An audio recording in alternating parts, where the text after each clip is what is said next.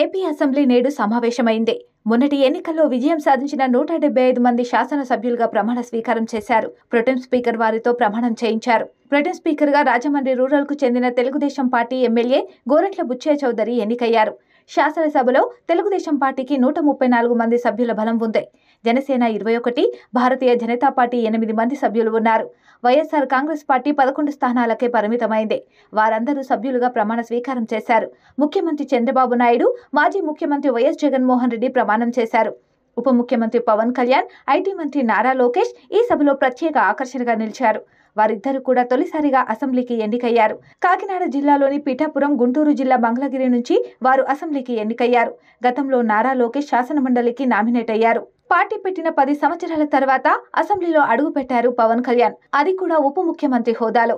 రెండు వేల పద్నాలుగు మార్చి పదవ తేదీన జనసేన ఆవిర్భవించిన విషయం తెలిసిందే.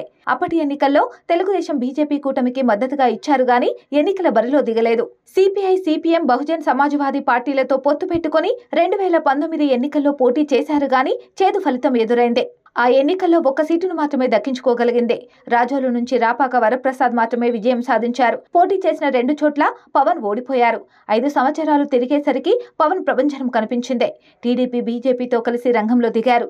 పోటీ చేసిన ఇరవై ఒక్క స్థానాల్లో తిరుగులేని మెజారిటీతో తన అభ్యర్థులను గెలిపించుకోగలిగారు.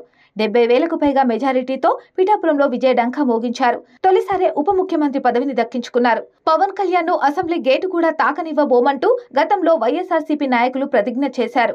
అవేవీ ఆయన విజయాన్ని అడ్డుకోలేకపోయాయి.